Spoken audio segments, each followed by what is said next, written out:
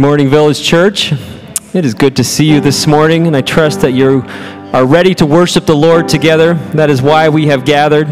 This is one of my favorite passages in all of Scripture, Colossians 1, as we frame our thoughts around our Savior and what He has done for us and who He is. Let's stand and let's look together at His Word and then sing in response to the greatness and the majesty of our God.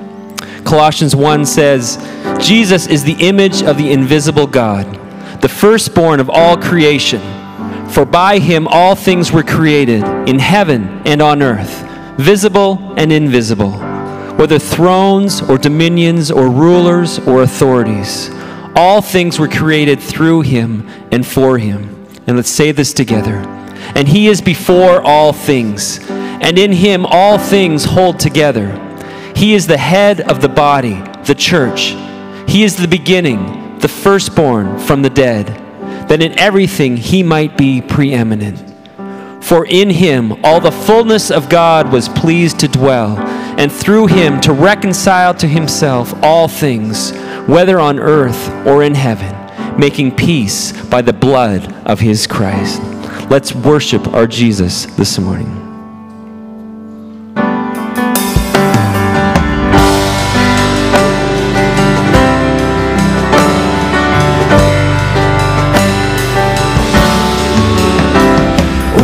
Worship the King, all glorious above, and gratefully sing His power and His love. Our shield and defender, the Ancient of Days, pavilioned in splendor and girded with praise.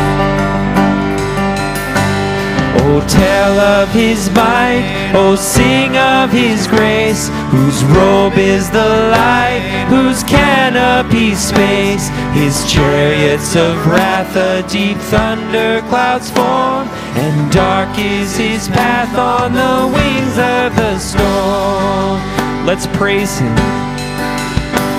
Oh, praise.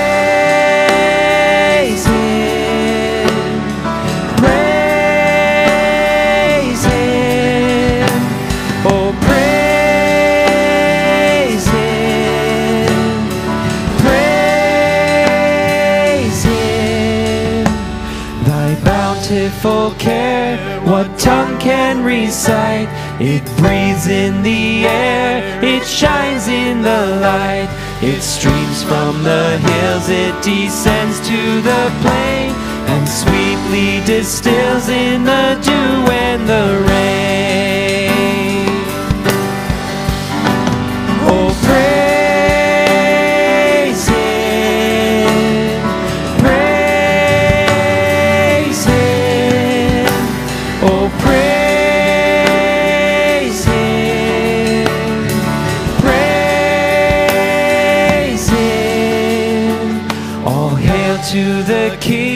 In splendor enthroned. Glad praises we bring, thy wonders make known. Returning victorious, great conqueror of sin. King Jesus, all glorious, our victory will win. Oh, praise.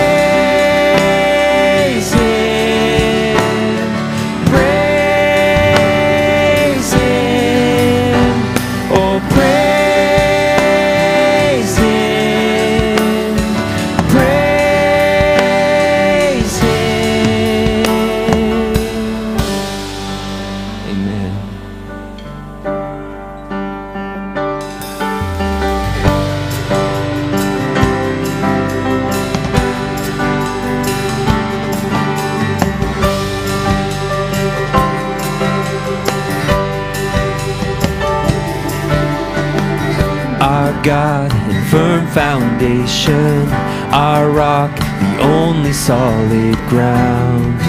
As nations rise and fall, kingdoms once strong now shaken, we trust forever in your name, the name of Jesus. We trust the name of Jesus. You are the only King forever. Almighty God, we lift you higher. You are the only King forever, forevermore. You are victorious.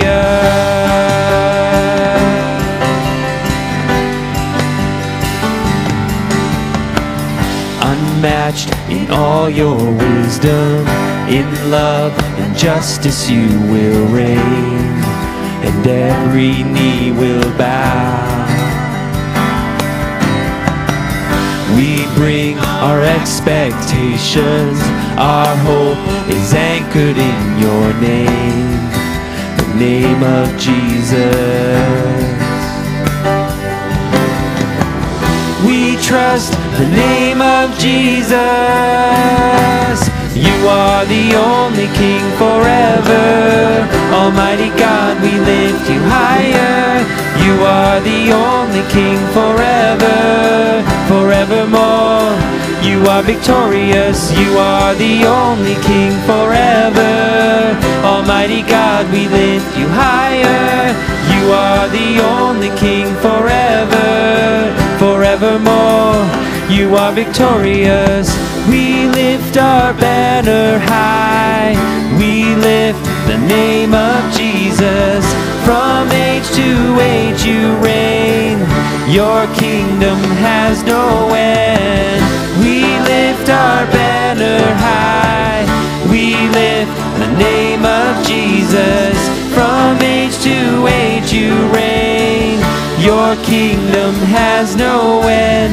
You are the only King forever. Almighty God, we lift you higher. You are the only King forever, forevermore, forevermore. You are the only King forever. Almighty God, we lift you higher.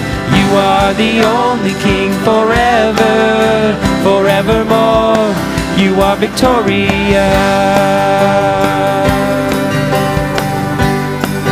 Victorious.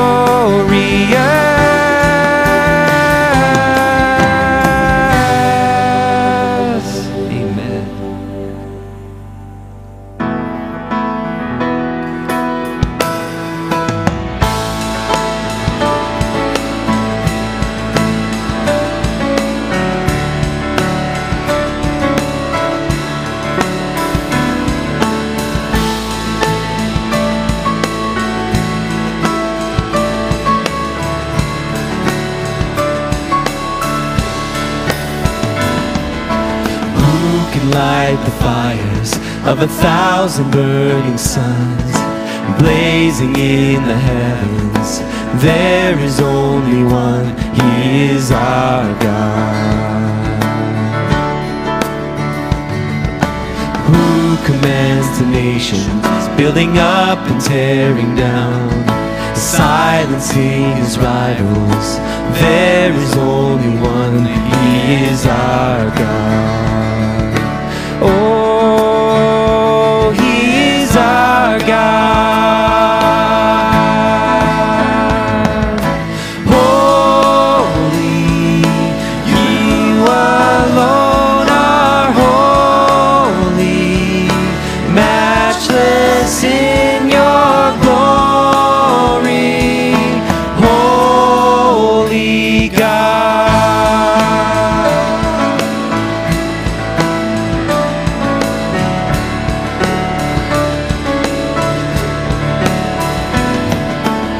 Who could come to save us when we turned away his love and conquer us with kindness? There is only one, he is our God. Yes, he is our God.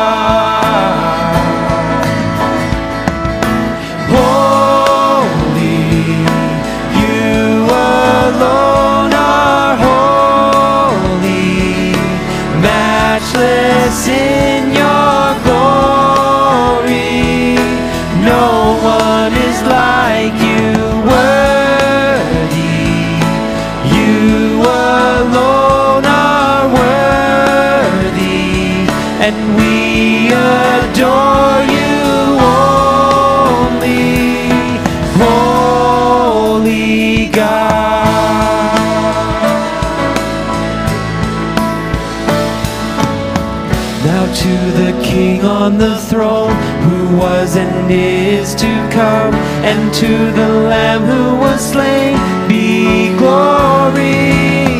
Now to the King on the throne, who was and is to come, and to the Lamb who was slain, be glory. Now to the King on the throne, who was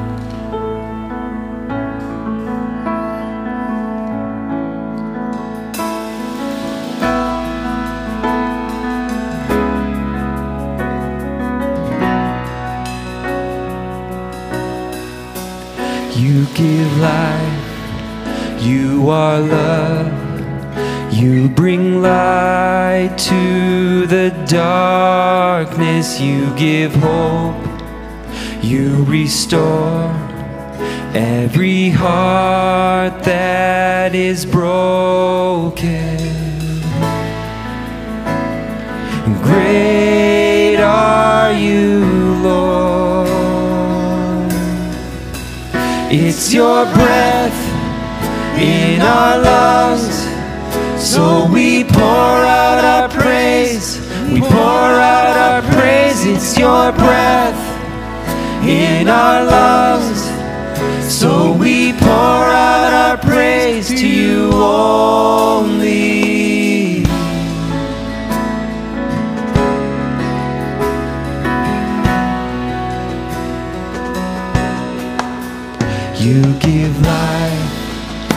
You are love, you bring light to the darkness, you give hope, you restore every heart that is broken.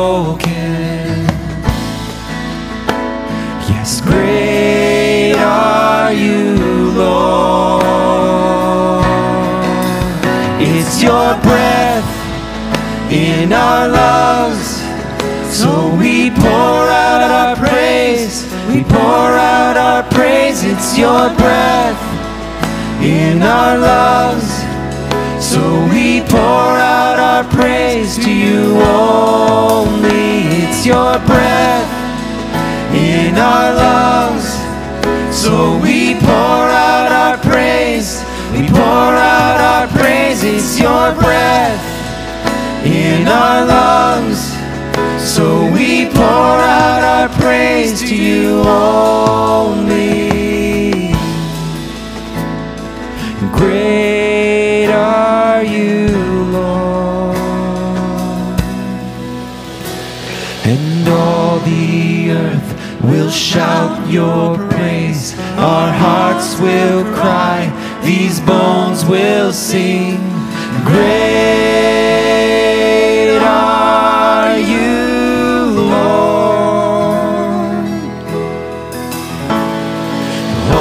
the earth will shout your praise. Our hearts will cry. These bones will sing.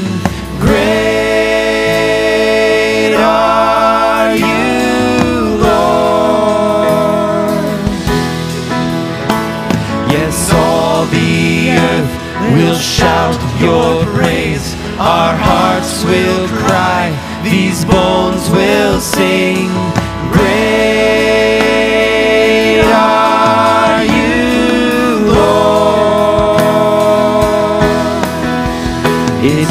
Breath in our lungs. So we pour out our praise, we pour out our praise, it's your breath in our lungs. So we pour out our praise to you only, it's your breath in our lungs. So we pour out our praise, we pour out in our lungs. So we pour out our praise to you only.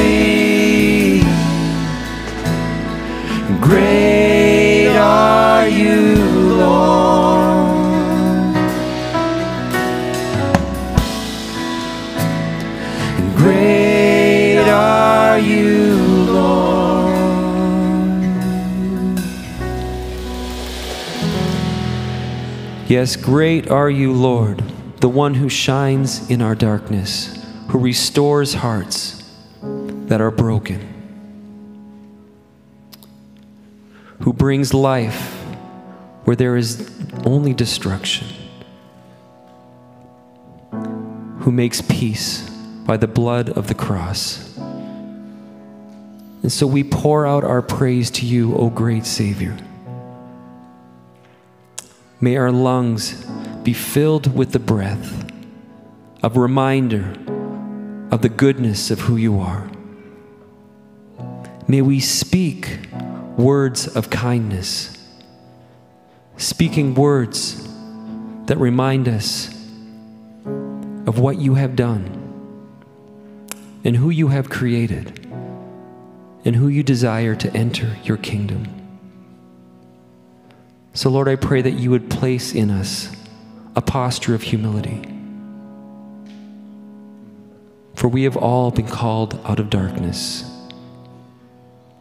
and have been placed in your light, not because of our efforts, but because of what you have done, O great Savior. We love you. We call upon your name. Amen. You may be seated, church. We have a few announcements that we would like to put your way of things that are coming up in the body life of this church in the weeks ahead. So please take a look at the VCB News. Hello, Village Church. I'm Brian Schnell, and you are watching the VCB News.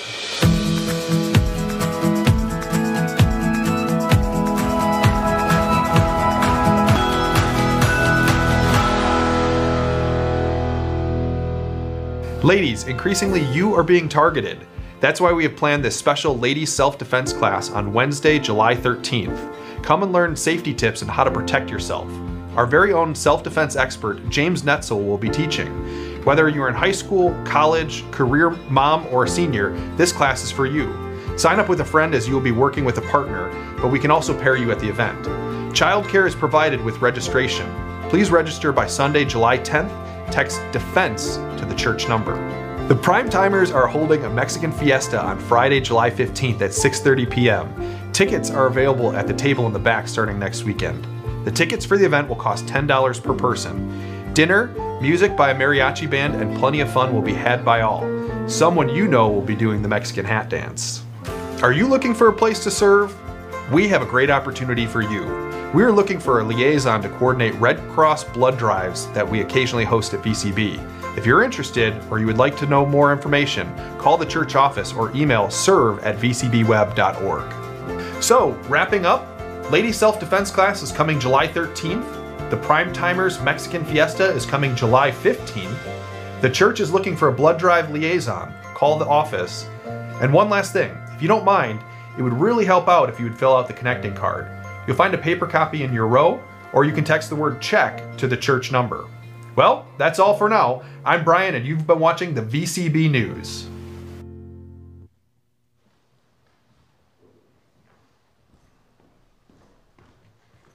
Good morning, VCB. How are you? Welcome to our church. We'd like to welcome all of you, those watching at home, as well as the two couples that I met that came in visiting our church this morning. We welcome you also. And just wanted to make the uh, correction, there is no children's church at 9 o'clock service. It's at 1045 only. So I did want to make that correction for those of you who visited that I told you there was, there isn't. so forgive me for that. It's at 1045 on Sunday mornings for the children. Hopefully you can relax and enjoy yourselves. Let the Lord's Spirit speak to your hearts. Listen attentively to the Word of God. Now let us pray for our offering. Oh Lord, we thank you that all things come from you. We know that our giving comes from you also. You touch hearts and thank you for all that you do for our church. Ask you to bless us, Lord God, as we use it wisely for the kingdom. In Jesus' name we pray. Thank God and amen.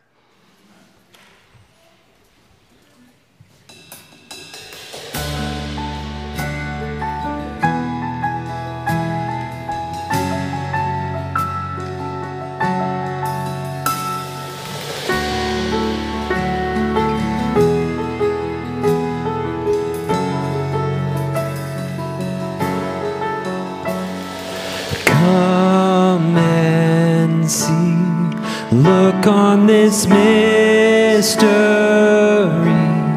The Lord of the universe, nailed to the tree.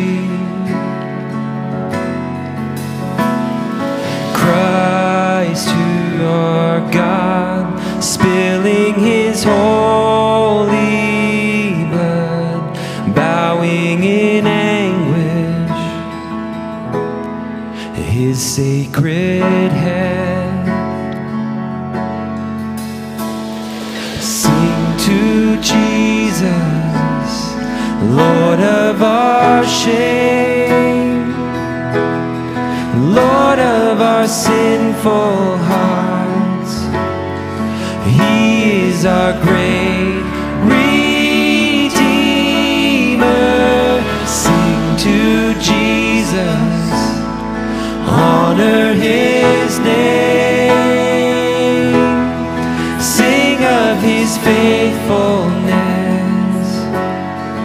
sonho.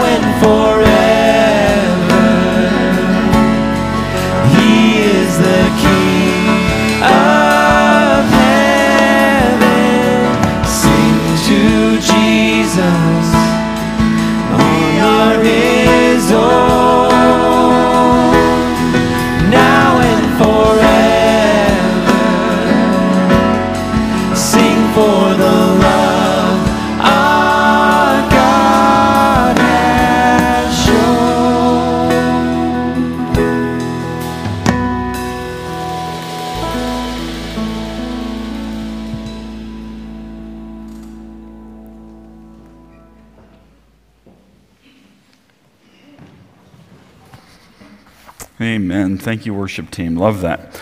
Well, greetings, friends. A special welcome to those uh, watching online and to our guests. Um, for those of you who are visiting, my name is David, and for the next little bit here, I'm going to be taking us through a passage of Scripture to hear uh, what God has to say to us. Before I get into that, though, you know, the Bible tells us to rejoice uh, with those who rejoice, and so we are doing a little bit of rejoicing this morning. We're rejoicing with the Funai family, the marriage of their daughter on uh, Friday. Beautiful ceremony here at the church. It was great to see Pastor Gordy Williams back to do that, so that was wonderful. And then also, today is Amy Netzel's birthday. So, one of our staff members, Director of Children's Ministry, so we wish Amy a happy birthday. So, that's great. And then, one more thing I want to talk about. You know, if you've been here for any length of time, you know that I seldom talk about politics uh, from the pulpit because I always want the Bible to set the agenda for what we talk about in church. You get enough politics from the news. In fact, some of you uh, get more news than you get Bible, uh, and that's not a good thing. Uh, but there are some issues on which Scripture is so clear uh, that it merits talking about, and one of those is the issue of life. And the Bible teaches that uh, we are all made in the image of God, and so that means that each person possesses inherent dignity and worth. Uh, it's therefore wrong to willfully and wantonly take the life of another person. Uh, that is usurping a right that God has reserved for himself and only delegates uh, to human government, uh, like in extreme cases like war or something like that. So I have to say that I am rejoicing uh, in the Supreme Court decision uh, this past Friday to overturn Roe versus Wade. Um, yeah.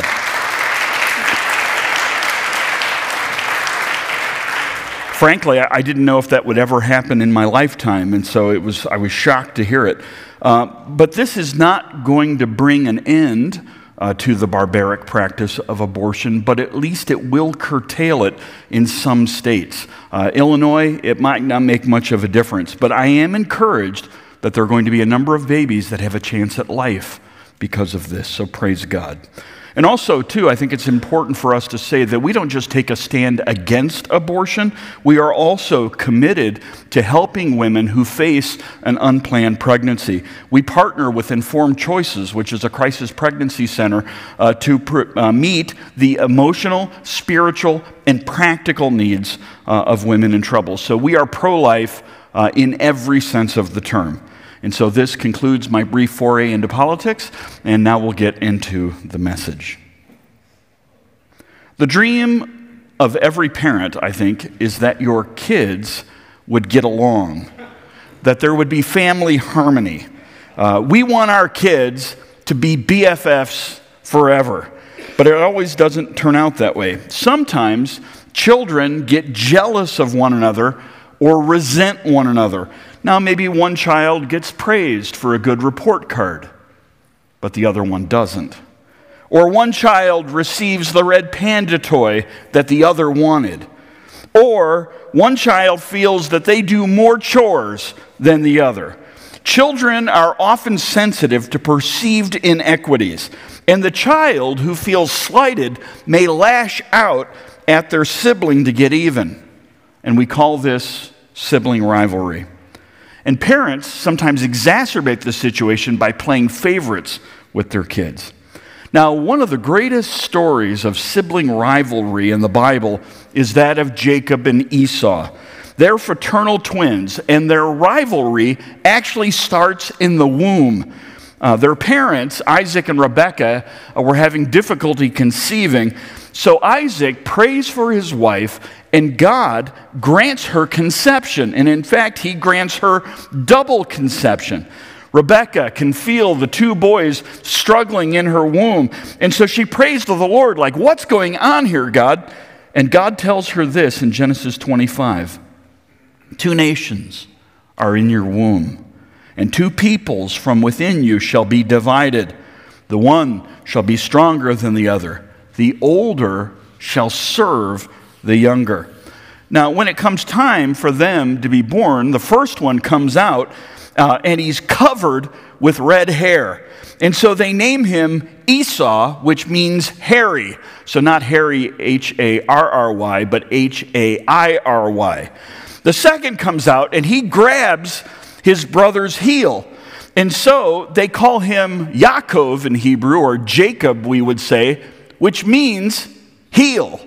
And in that culture, to, to, grasp, to grasp the heel was synonymous with cheating. And so they basically called him cheater. You know, so if you had walked by their house uh, one night, you would have heard, Harry, heel, you know, come to dinner, that kind of thing. The rivalry between the two boys is the stuff of legend.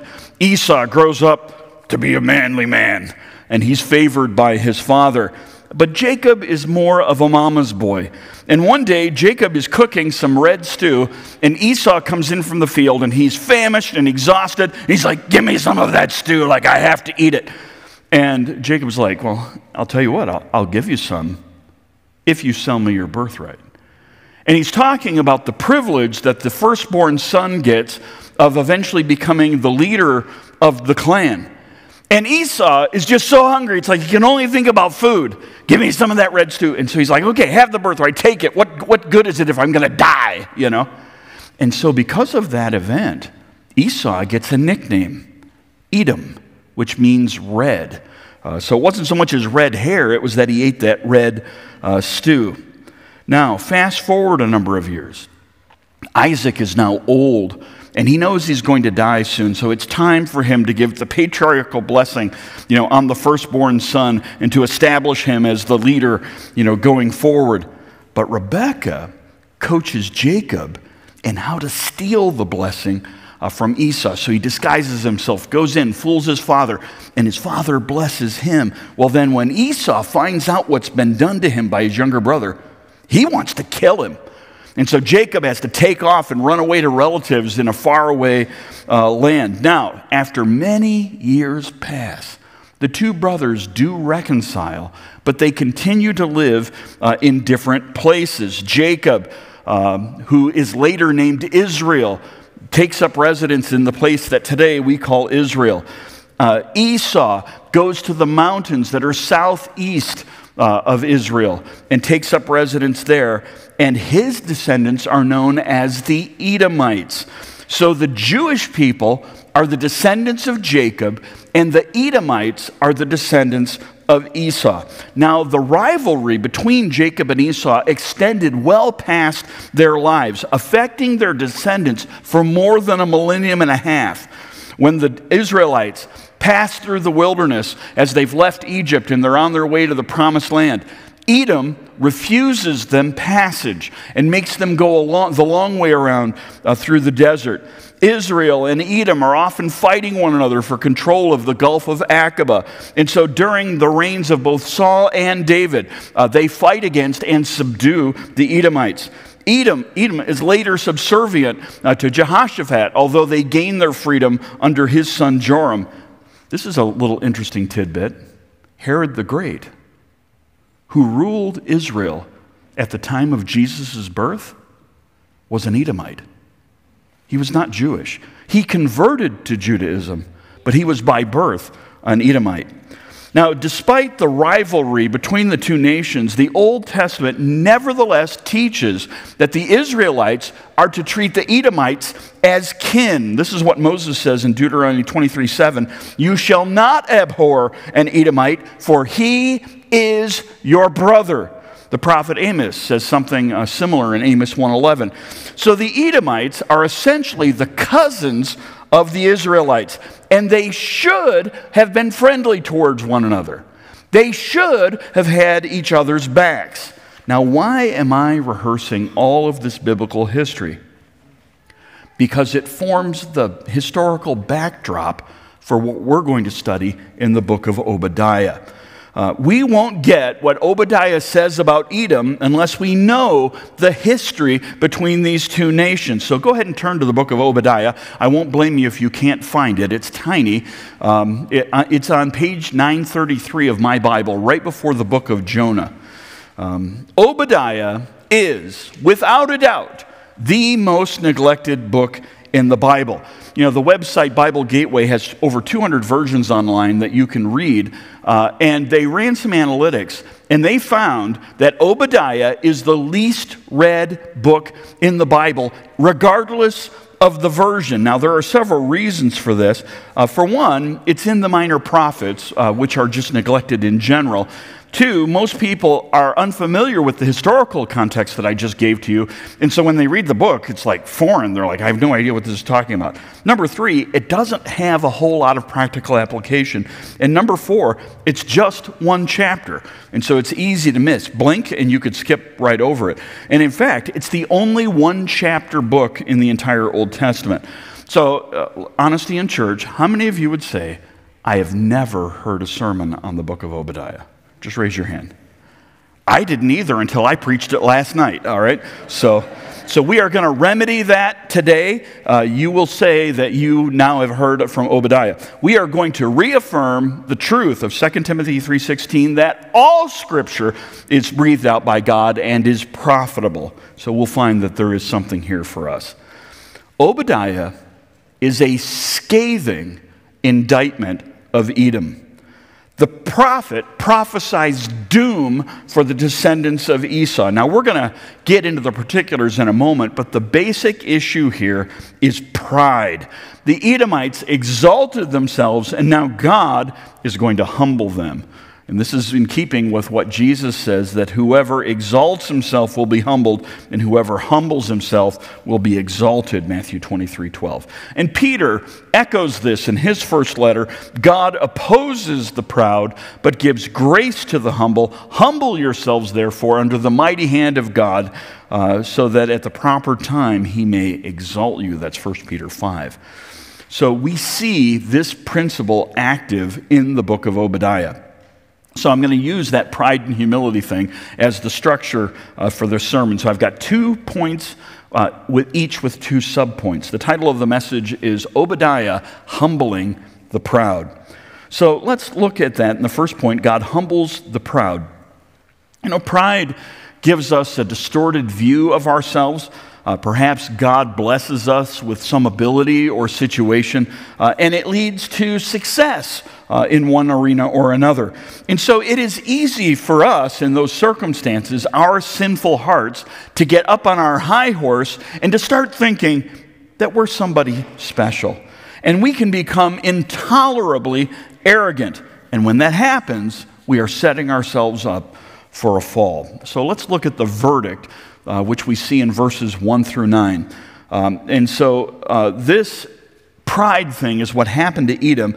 So we're going to see the judge's verdict, and then we're going to see the indictment in verses 10 through 14. Now, that's actually an inversion of the normal order. Normally, in the court system, you know, you have the indictment first, and then the verdict comes later after you work through it all. But, but Obadiah is going to reverse that. He's going to give us the bottom line first, and then he's going to go back and explain why God gives the verdict uh, that he does. So let's start reading in verse 1.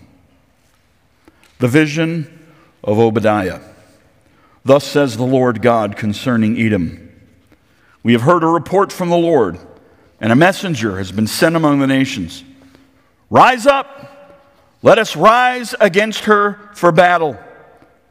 Behold, I will make you small among the nations. You shall be utterly despised. The pride of your heart has deceived you you who live in the clefts of the rock, in your lofty dwelling, who say in your heart, Who will bring me down to the ground?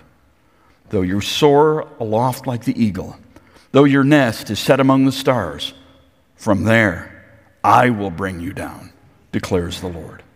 If thieves came to you, if plunderers came by night, how you have been destroyed. Would they not steal only enough for themselves? If grape gatherers came to you, would they not leave gleanings? How Esau has been pillaged, his treasures sought out. All your allies have driven you to your border. Those at peace with you have deceived you. They have prevailed against you. Those who eat your bread have set a trap beneath you. You have no understanding. Will I not on that day, declares the Lord, destroy the wise men out of Edom and understanding out of Mount Esau? And your mighty men shall be dismayed, O Teman, so that every man from Mount Esau will be cut off by slaughter. Wow, tell us what you really think, Obadiah. Obadiah is a common name in Scripture. There are at least 12 people that have it, and we don't know which of the 12 is this author. And in fact, this author could be the 13th. We just don't know. Um, the prophet throws the brick through the window in the first verse. God, the sovereign ruler of the universe, has sent an angelic messenger to the surrounding nations to stir them up against Edom. Yahweh wants the nations to gang up on Edom. Why? Well, again, he's going to give the indictment in a minute, but not yet. And until then, he's going to hold us in suspense. But the verdict continues. Verse 2 God directly addresses Edom, and it is not a positive, encouraging message, but rather one of doom and gloom. He declares that he is about to make Edom small. Now, this includes a loss of population uh, and or territory. And furthermore, God declares that Edom is going to be despised. That means to accord little worth, to undervalue. So the other nations are no longer going to respect Edom. They're going to look down upon them as weak and powerless. In verse 3, we find out, as already mentioned, that the root issue is pride. The Edomites think of themselves more highly than they ought to think. They are self deceived. And that word deceived could also be rendered seduced. How did this happen? Well, you know, we know, we know some things about Edom from that time. Uh, it had a number of things going for it. Let's get our map up here. Uh, it's located on a narrow strip of fertile land just to the east of the uh, Jordan uh, Rift Valley. So, to get our orientation, there's Jerusalem right in the center of that circle. There's the Dead Sea and here's Edom down here. So you've got the Jordan Rift Valley coming down this way, and there's this ridge line of mountains that go down, and some of those mountains go up to like 5,700 feet. There's just like this sharp cliff that drops off. But this area is fertile because it gets the uh, prevailing winds from the med, so it gets that moisture. Just to the east of that, you've got the Arabian desert. So here you have this little pocket of highly fertile land, and it's protected by these steep cliffs with jagged edges. And it's only accessible from the southern slope, and Edom had that heavily guarded by a good military. And so Edom has this sense of security. Nobody can get us up here. Like we're a fortress. We are impenetrable. We are invincible. And they also uh, control an important trade route that goes north and south through that fertile area. And so think toll roads. So Illinois was not the first to come up with toll roads. Edom had it back, you know, 2,500 years ago. Next, they are well governed. You know, the king and his cabinet are men of wisdom, and the people benefit from their insight. And finally, they've got alliances with the nations that are around them, which make for peace, and peace makes for more prosperity. So, Edom is strong. But this fostered pride in their hearts. And so God quotes an imaginary Edomite who speaks on behalf of his people in verse 3 Who will bring me down to the ground? He feels invincible up on his cliffs. And then notice verse 4 Though you soar aloft like the eagle, though your nest is set among the stars, from there I will bring you down, declares the Lord. That is chilling that's hyperbole. You know, eagles don't nest up in the stars. But God's point is, God is so much bigger, it doesn't matter how high up they are. He has the power to be able to bring them down. As King Nebuchadnezzar will say later in Daniel 4:37, those who walk in pride, he is able to humble. You know, when God is for us, no one can stand against us. But the converse is true. When God is against us, no one can stand for us. So God is undermining their sense of security. In verses 5 and 6, he goes after Edom's wealth. He says marauders are going to come in and plunder their possessions. And even the treasure that they've buried in the earth for safekeeping is going to be found and unearthed. And nothing is going to be left behind. Edom is going to be stripped clean. In verse 7, God goes after their political alliances. Their supposed allies are going to turn against them and attack them, dispossessing them from their land. And this treachery will be sudden and shocking, and the Edomites will not see it coming. In verse 8, God goes against Edom's intelligentsia. The wise men are going to be killed or captured, resulting in a significant brain drain for the nation. And this is not only going to hurt their prestige among the nations, it's also going to hurt their future chances of survival. And in verse 9, God goes against Edom's military might. Their bravest warriors are going to run, screaming like little girls, and then they're going to be slaughtered. And that word for slaughter is used elsewhere for a calf being cut up into pieces. So it could be rendered butchered. So not only the geeks, but also the jocks are going to be affected. Now, that is quite the verdict. That's a veritable death sentence on a nation. And God leads with that. What had they done to merit such a terrible judgment. Okay, well, now we finally get to the indictment uh, in the next five verses. So let's start reading at verse 10. Here's why God said those things because of the violence done to your brother Jacob, shame shall cover you, and you shall be cut off forever.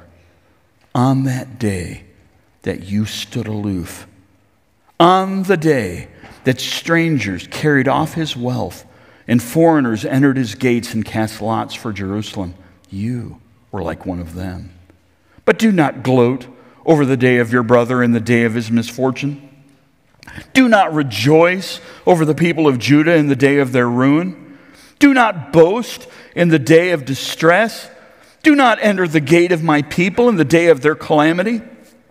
Do not gloat over his disaster in the day of his calamity. Do not loot his wealth in the day of his calamity. Do not stand at the crossroads to cut off his fugitives. Do not hand over his survivors in the day of distress. So now we find out what happened. A dark chapter in the sibling rivalry between Jacob and Esau happened when the Babylonians conquered Jerusalem in 586 BC. Now, we've talked about that in recent weeks. Uh, the southern kingdom of Judah uh, had uh, turned to other gods and they had uh, participated in pagan immorality, and God had sent prophet after prophet to warn them and to urge them to repent of their sin and to turn back to the Lord, you know, but they refused to do it. And so God raised up Nebuchadnezzar of Babylon to chastise his wayward people. And Jerusalem was besieged for many months. I think it was like 18 months until the people inside the city walls were starving. And then Nebuchadnezzar's men breached the wall of Jerusalem, and King Zedekiah of Judah realized that he was in deep weeds. And so he tried to escape under cover of darkness with a group of his men, but they were overtaken on the plain, 2 Kings 25. And they were likely not the only fugitives who tried to escape. The city was burned with fire, the temple was destroyed, and the surviving Jews were killed or taken captive to Babylon.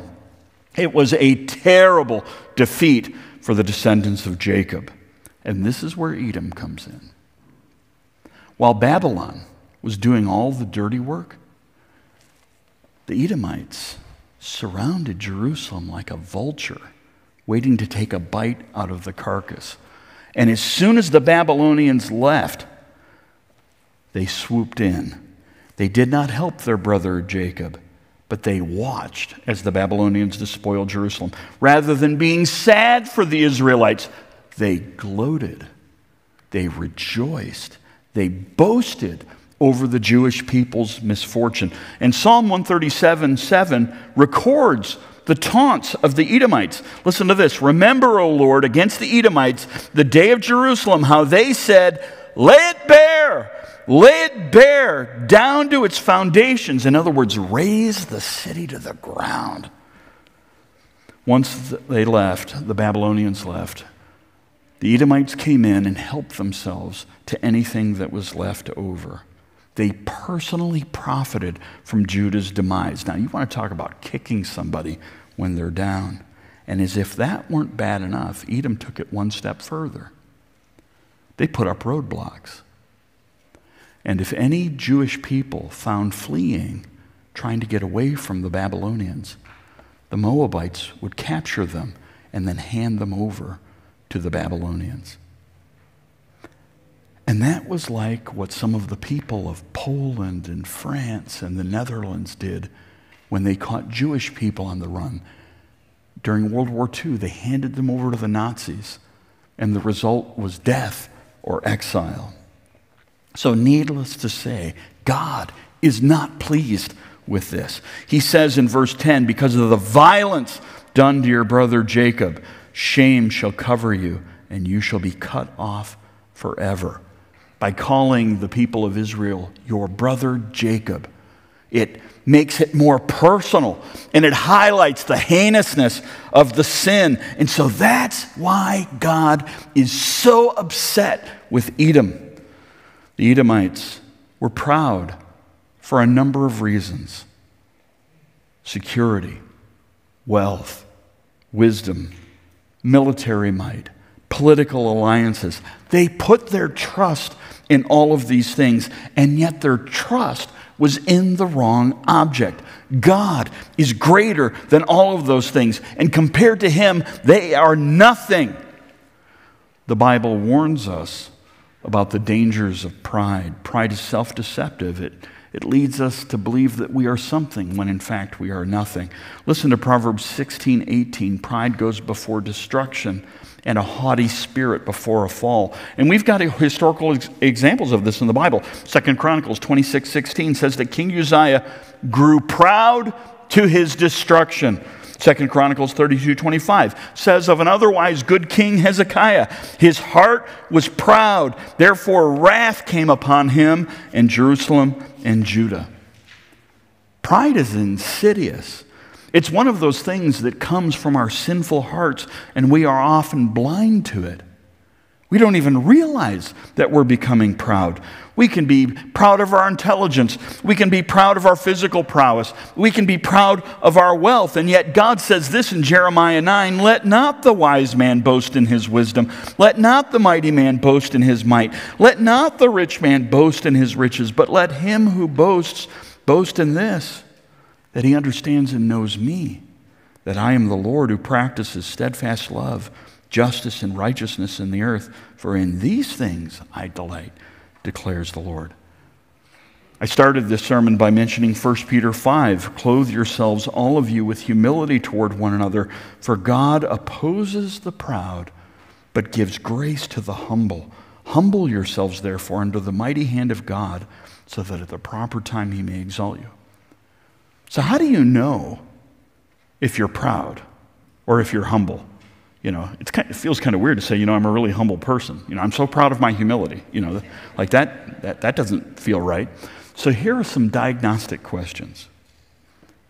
What percentage of your thoughts are about yourself versus other people? Are you able to put the needs of other people ahead of your own needs? Do you actually listen to what other people are saying to you? Or are you merely thinking about what you want to say next and you can't wait for them to stop talking so that you can say what you want? Do you engage in self promotion, whether at work or on social media or among your friends? Or do you promote others and talk about their accomplishments? Do you think that you are better or more interesting than other people? Or do you consider them better than yourself? Do you have to be the center of attention when you're in a group? Or how do you respond when someone else is the center of attention? Do you resent them for that? Do you believe that in order for a job to be done right, you have to do it? Or can you delegate that to other people and trust them to do a good job? When you do something nice for someone, do you let them know how much it cost you or how much you suffered to do that? Or are you able to do things without any need for recognition, thanks, or reward? Do you feel entitled to certain treatment? And how do you respond when you don't get that treatment? What gives you your sense of security? Is it your job, your house, your money and possessions, or is it God alone? So, how'd you do? I don't know that I did too great. I might be clipping at about 50% on that one. This exercise may have indicated that you're more proud than you thought, and, and if that's the case, then we need to repent of that, just like any other sin. And we need to do what's right going forward. You know, we can't truly love another person unless we're humble. If we are proud, there's only one person that we love, and that's us. And that is a stench in the nostrils of God, and it's a stench in the nostrils of other people. You might not see your pride, but they do. Humility, on the other hand, is a virtue, and it is a beautiful thing in the sight of God and in the sight of other people. So we need to be wary of pride in our life. So here's a dangerous thing to do ask someone you trust if they think that you're proud a spouse, a parent, a child, somebody in your growth group. Brace yourself for the response. Paul says this in 1 Corinthians 11 if we judged ourselves truly, we would not be judged. If I'm proud, I would rather find that out now than on Judgment Day. Because if I find out now, I've got a chance to do something about it and make amends. God humbles the proud. And this brings us to our second point God exalts the humble. Thankfully, the book of Obadiah is not all gloom and doom. The last six verses actually contain hope for the Jewish people and for us. Uh, this point's going to come a little more quickly than the first one. So let's look at the downfall of Edom in verses 15 through 18. So even though Israel's situation seems hopeless at the present time, Obadiah predicts a day when God will bring the descendants of Jacob back to the land of Israel and defeat the descendants of Esau and other nations as well. So let's start reading in verse 15. For the day of the Lord is near upon all the nations. As you have done, it shall be done to you. Your deeds shall return on your own head. For as you have drunk on my holy mountain, so all the nations shall drink continually. They shall drink and swallow, and shall be as though they had never been. But in Mount Zion there shall be those who escape, and it shall be holy. And the house of Jacob shall possess their own possessions. The house of Jacob shall be a fire, and the house of Joseph a flame, and the house of Esau stubble. They shall burn them and consume them, and there shall be no survivor for the house of Esau, for the Lord has spoken. So, verse 15 mentions the day of the Lord, and this phrase pops up fairly frequently in the prophetic literature. It refers to the time when God is going to come to earth and he is going to make everything right. He is going to exact vengeance for the evil that people have done, and he's going to vindicate the righteous. Now, when Obadiah says that it's near, that doesn't necessarily mean that it's going to happen tomorrow or the next day. I mean, he wrote this like nearly 2,600 years ago, and it hasn't happened yet. You know, so what, what does he mean then when it says that it's near? Well, there, there's at least two things that he's trying to do with that. One thing that he's trying to say is that it's certain. This is for sure going to happen. Might seem like a long time to us, but for God, 2,000 years, that's like a couple days to Him. No problem. And the second thing that it means is that once it happens, it's going to happen swiftly. It, our, when, when the Lord comes back, Our destiny is going to be set at that point. There's going to be no opportunity after that to make amends. Our lives are going to be in the books, and we're going to be judged on the basis of that. And so, by talking about the nearness of the day of the Lord, Obadiah gives us a sense of foreboding about that. There's kind of an implicit thought like, wow, if, if, I'm, if I'm proud, I've, I've got to get right with God today. The day of the Lord is going to be a day of wrath. In verse 16, uh, Obadiah alludes to how the Edomites got drunk on Mount Zion, uh, which just profaned the temple ground. But then he turns and uses that as a metaphor for how the nations are going to drink to the point that they're drunk, but what they're drinking is the cup of God's wrath. And it's going to, it's going to lead them to oblivion. But it's going to be different for the descendants of Jacob. They will eventually be freed from their captivity. They are going to return to Israel and they are going to repossess it.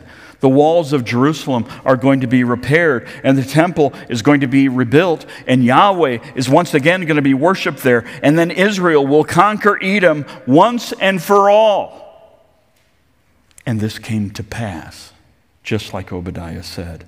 In 553 uh, BC, about 30 years after Obadiah wrote this, Nabonidus, the king of Babylon, annexed Edom, and they ceased to be a sovereign nation. Then in 312, Edom was defeated by the Nabateans, uh, and they had to flee. And of all places, they went to Judah to find safety, and they lived there. And then during the Maccabean period under John Hyrcanus, they were forcibly converted and circumcised, and from that point on were treated as Jews. Then during the Roman period, the former nation of Edom became the Roman province of Idumea, and the Edomites, as we know them, ceased to exist. Israel, on the other hand, spent 70 years in exile, but then they came back. And they repaired the wall under Nehemiah, and they rebuilt the temple under Zerubbabel and the Jewish people once again re inhabited their land. But wait, there's more. Not only will Israel return to their land, but they're even going to expand their territory. Look at verse 19. Those of the Negev shall possess Mount Esau, and those of the Shephelah shall possess the land of the Philistines. They shall possess the land of Ephraim and the land of Samaria, and Benjamin shall possess Gilead. The exiles of this host of the people of Israel shall possess the land of the Canaanites as far as Zarephath. And the exiles of Jerusalem who are in Sepharad will possess the cities of the Negev. Saviors shall go up to Mount Zion to rule Mount Esau, and the kingdom shall be the Lord's. Now let's get our map up there again. So here is the Negev down here. There we go. So this is the Negev desert. So it's a largely uninhabited area. Uh, but he's saying that, uh, that they are actually going to come down and take Edom. Hmm. This thing, Jim, I think I'm losing my battery here on the clicker. Okay. Well, you'll just have to work with me on this. So, so you've got the Negev desert just south of Judah. You've got Edom there to the right. They're going to be conquering them. Then you've got above the green where Israel is. Uh, you've got the Shephelah, which is kind of like this gentle rolling hills. They're going to conquer Philistia. Then uh, the Israelites are going to take back what used to be the northern kingdom of Israel. Benjamin's going to take over Gilead, which is on the other side of the Jordan River. They're going to even go up as far as like Tyre and Sidon. That's like modern day Lebanon today, so even outside of Israel. And then he mentions Sepharad, which is crazy. I mean, that's in western Turkey. Uh, in the New Testament time, that place is going to be called Sardis. Some of you may be familiar with that from the letters to the seven churches of Revelation. So they're going to be all the way up in like modern day Turkey, but they're going to come back and they're going to inhabit. And what happened is after the destruction of Jerusalem in 586, some Jews fled up uh, in that direction. But Obadiah says they are going to come home. So, so he's basically going in a big circle and saying it's not going to just be Jerusalem or even Judea, but the Israelites are going to expand and they're going to take over all of this area that God had promised to them. And the last verse ends with a promise of deliverance. Saviors shall go up to Mount Zion to rule Mount Esau. Now, Savior's there, don't think of that in like a salvific sense. Uh, it's more in the sense of a deliverer. You know, things like we read about in the book of Judges, uh, or we read about in 1 Samuel, like the early prophets uh, that we've studied in this series, or the kings of Israel. It's talking about a succession of human rulers who are going to subjugate Edom. But then notice how the book ends and the kingdom shall be the Lord's. God is going to establish his own rule over the reconstituted Israel. Now, the emphasis that Obadiah places on Israel getting back all this territory seems a bit foreign to us. It might even sound imperialistic. But for the Jewish person, this is a really big deal. I mean, this is the land that God promised to them. This is their place in the world. This is their inheritance from God. You know, imagine how you would feel if you went to the reading of your father's will and you found out that some stranger like got your inheritance. You'd be like, "What? Say what?" Like that was my, you would feel such a sense of injustice. That might give you just a little glimpse about how the Jewish people feel about the land. So maybe you've been beaten down like the Israelites. It's been one bad thing after another in your life. And whatever pride you may have had is gone.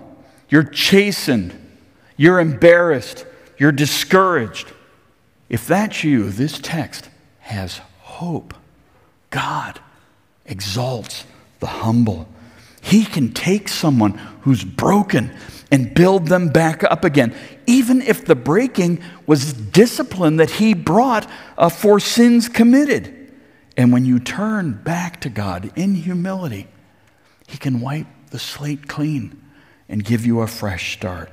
He can even restore what you've lost. Now, this may happen in this life, or it could happen in the next. Like Obadiah, we believe that the day of the Lord is near. And again, even though we've been waiting for thousands of years for Jesus to return, in God's economy, that's just like a couple days. No big deal to Him. I am betting my eternal future on the fact that one day Jesus is coming back in bodily form to this planet and He is going to rule and reign on this earth. And he is going to get rid of everything that causes evil. And he is going to establish justice. And this is going to be the Garden of Eden 2.0. And we're going to experience life the way God intends for us to experience it. You know, the Messiah came the first time to suffer and die for our sins, but he is coming back the second time to rule and reign on the earth. And then the end of verse 21 will be literally fulfilled. The kingdom shall be the Lord's. So there is a future for God's people, even after judgment. This shows the mercy and the faithfulness of God. Even though Israel had forsaken him to worship other gods, he remains faithful to them. And even though we go through the vicissitudes of life, God is faithful to us as well and we have a future. God exalts the humble. Several years ago, the Freakonomics blog had a podcast about the Space Shuttle Challenger. If you're like me and you were alive during that time, you, you, I remember exactly where I was when I heard the news of what had happened with that. On January 28, 1986, NASA was planning to launch the Space Shuttle Challenger uh, from the Kennedy Space Center. And the mission had attracted a great deal of public interest uh, because there was going to be a civilian on board, a school teacher named Christa McAuliffe. The launch had already been delayed, but NASA officials had go fever. They really wanted to get this thing up. And so one of the engineers, Allan McDonald, had serious reservations about the launch. He was concerned it was unusually cold in Florida that day and he was concerned about the O rings on the rocket. Uh, he wasn't sure how they would respond uh, in that cold environment. And so he recommended that they postpone the launch yet again and wait for the temperature to rise a bit. But NASA officials overruled him, and they wanted him to sign off on the launch. And he refused to do it. And when he refused, they put the pressure on his boss, and so his boss signed off on the launch. And so the Challenger launched the next morning. And then 73 seconds into its flight, it burst into flames, killing everyone on board. The cause of the explosion was exactly what McDonald had feared the O rings had failed to hold their seal. So NASA was warned that day, but they pushed on anyway. Why? According to McDonald, they fell prey to the oldest and most basic sin pride. NASA had been so successful in the past. What could possibly happen? And that pride killed seven people and wounded the collective spirit of the nation. Proverbs 16:18 bears repeating, pride goes before destruction and a haughty spirit before a fall. Jesus says, Whoever exalts himself will be humbled, and whoever humbles himself will be exalted.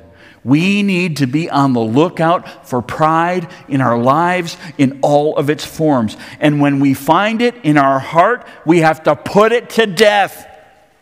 Embrace instead the godly virtue of humility. It's the only way that we will ever be like Jesus. So let's pray. Our Father, this message hits home for us, even though we are separated from the events of this book by so many centuries. Nevertheless, human condition remains the same. And Lord, we recognize that we do have pride in our hearts. We do get up on our high horse. We think we're something when we're nobody. And so, Father, I pray that your Holy Spirit would actively search our hearts and would isolate and would reveal to us those areas where we are proud and we don't even realize it. And then, Father, I pray that you would build into us a godly humility, that we would, uh, through the power of your Spirit, look more like Jesus and seek to serve others rather than to be served. We ask all this in Christ's name. Amen. Let's stand and sing of the power of our God to save. He is returning.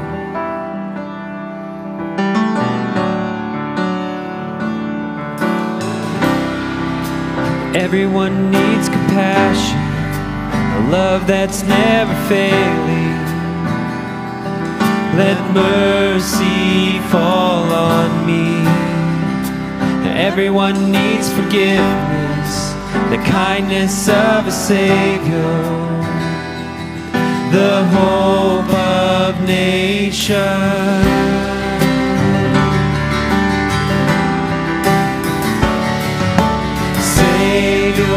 He can move the mountains. My God is mighty to save. He is mighty to save forever. Author of salvation. He rose and conquered the grave.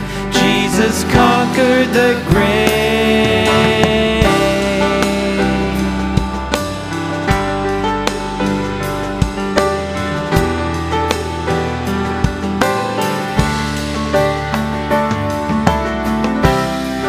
So take me as you find all my fears and failures. Fill my life again. I give my life to follow everything I believe in. Now I surrender.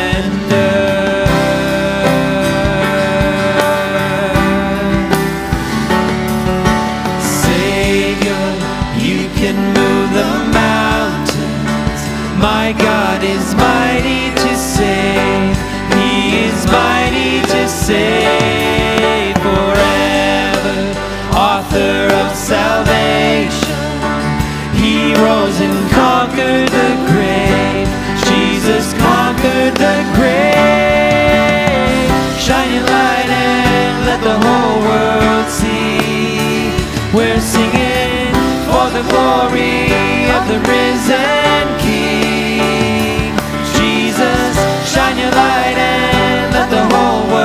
see.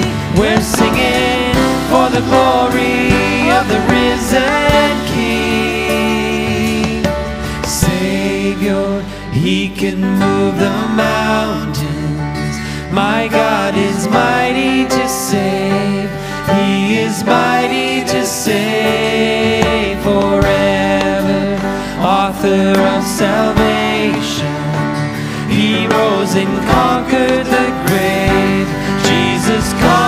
The grave.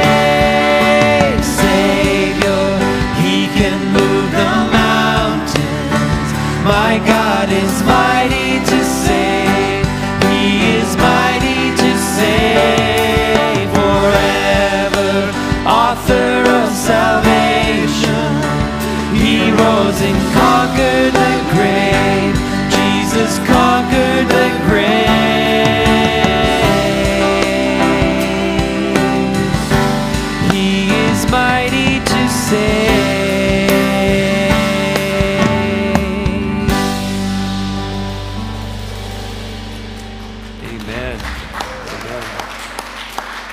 Amen. We believe that. So, hey, our service is uh, at an end, but uh, some of us are going to stay down front afterwards, some of our leaders. And, you know, so why would you talk to a leader? For one, they're really nice people, and they actually are people of substance and have something to offer. So maybe, maybe you are new and you'd like to get to know some of the leaders of our church. Maybe you have some questions about how we do things here what we believe. We can certainly help with that. Maybe you've got a spiritual need and, and you just want to share that with somebody and have them pray for you. Maybe you need wisdom for a difficult circumstance. Maybe you've got questions about Jesus and this whole Christianity thing. Our elders can help with all of those. And so I would encourage you don't just split out of here. Come down and, and meet one of them and, and talk. And, and also, too, just stick around. Maybe you don't have something like that, but just stick around and meet somebody. It's a friendly group of people. So I hope you feel very welcome this morning. May God bless you. And, and I, I pray that for all of us this week coming, that we would pay special attention to this idea of is there any pride in my life? And if so, how can I replace that with the virtue of humility? So go out and love one another. Amen. Thank you.